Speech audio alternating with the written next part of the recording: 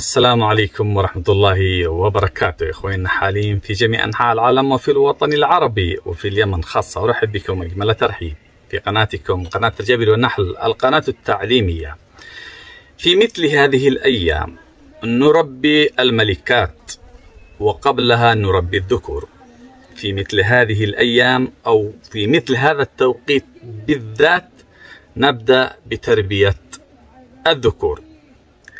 تربية الذكور لها أولوية وأهمية مثلما للملكات دور كبير في انتعاش المنحل. تربية الذكور نبدأ به قبل تربية الملكات بعشرين يوم من وضع الملكة للبيض أو بما يقارب 25 يوم فإذا زادت قليلا أو نقصت لا مشكلة.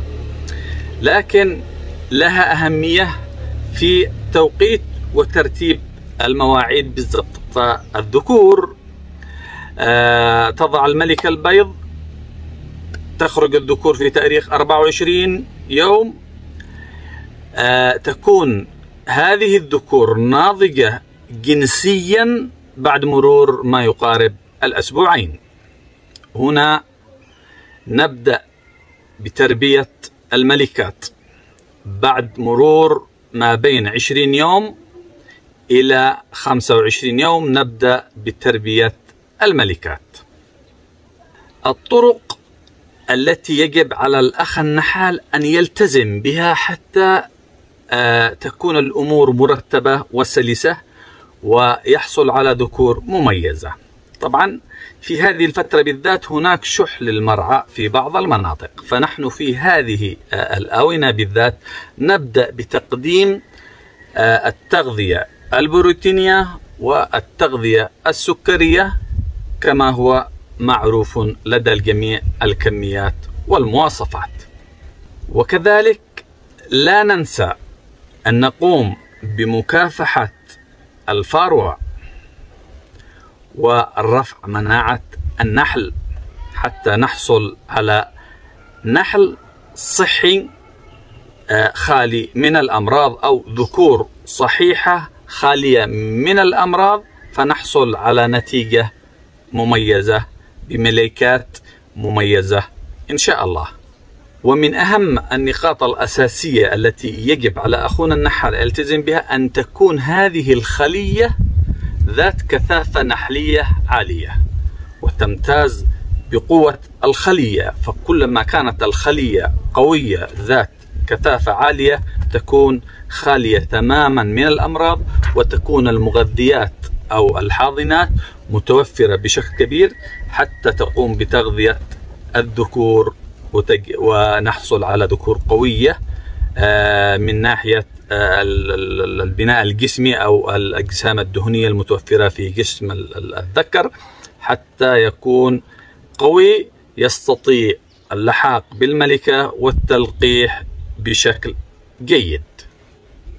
طبعا هذا حديثنا حول تجهيز الخلية وترتيبها من التغذية إلى آه، تلك الأمور.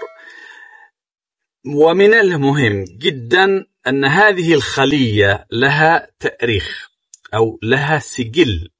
هذا السجل يطلعنا على أهمية هذه الخلية ومواصفاتها وكيف تكون عليه مستقبلا إن شاء الله. فتكون هذه الخلية من ضمن الصفات التي آه، تكون فيها أو الملكة الموجودة فيها التي سنربي منها ذكور أنها جماعة للعسل. مقاومة للأمراض.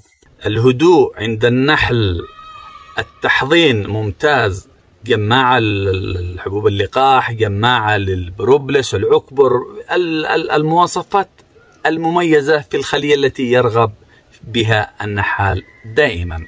ثم نأتي بعد ذلك للمرحلة الأهم وهي إنزال إطار مخصص لتربية الذكور. هناك طبعا إطارات مخصصة آه لتربية الذكور أو أساسات مخصصة لتربية الذكور لكن لا تتوفر بالشكل المطلوب في جميع آه المناطق. فماذا على الأخ النحال القيام به؟ نقوم بأن آه، نأتي بإطار ونضع فيه أساس شمعي بمسافة واحد سنتي من الأعلى أو اثنين سنتي لا مشكلة. أو إننا نقوم بإحضار إطار مبني ونقوم برفع الشمع كاملا ونترك من واحد إلى اثنين سنتي من السدابة العلوية. وهنا سيقوم النحل بعمل بناء جديد من ناحية بناء بيوت ذكرية على كامل الإطار. وهذه تجربة قد خضتها من قبل والأمور طيبة في هذا الجانب. ومن أهم النقاط التي يجب على آه، أخونا النحال إن إن بنت بعض الخلايا آه، ذكور أو بيوت ذكرية يقوم بالتخلص من هذه الذكور حتى يحصل هو على ذكور ذا مواصفات آه، جيدة وتكون ويكون التلقيح بمستوى عال جدا بخلايا مستواها وصفاتها مميزة جدا من ذكور معلومة المصدر. وهذه نقطة مهمة جدا جدا. وهناك نقطة مهمة جدا. يمكن أخونا النحال أن يقوم بتربية الذكور بأكثر من خلية وبأكثر من صفات جميلة وجيدة في هذه الخلايا. فكلما آه، كانت آه، الذكور متنوعة كان التنوع الجيني متنوع.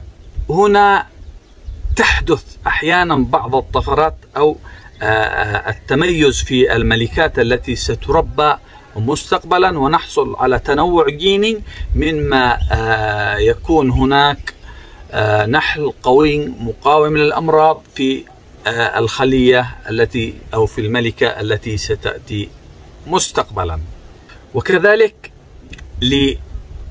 كملاحظة للتنوع الجيني. ما دام دخلنا في آه، مسألة التنوع الجيني. يستطيع أخونا النحال المتمرس المتمكن المتابع الحصول على ذكور من مناحل أخرى يستطيع الحصول عليها. هنا يستطيع أن يحضرها إلى آه، منحله وهنا يكون تنوع جيني في تحسين السلالة المحلية التي يقوم أخونا النحار في تربيتها في منحله. بعد هذا كله من المتابعة والتجهيز والترتيب والتلقيح وخروج الملكات وتربيتها وتجهيزها على أخونا النحال التدوين تدوين المعطيات تدوين الملاحظات. كيف كانت النتائج من الجيل الأول من تربية الملكات؟ هنا يحصل أخونا النحال على نتيجة مبهرة. إن شاء الله. وسيكون لنا محاضرة مع الأيام القادمة حول تحسين تربية الملكات. طبعا هذه المحاضرة هي عن تربية الذكور وهي مبدأ أساسي ورسمي لتربية الملكات. سيكون لنا محاضرة إن شاء الله قريبا حول تربية الملكات. في المنحل. تحياتي لكم.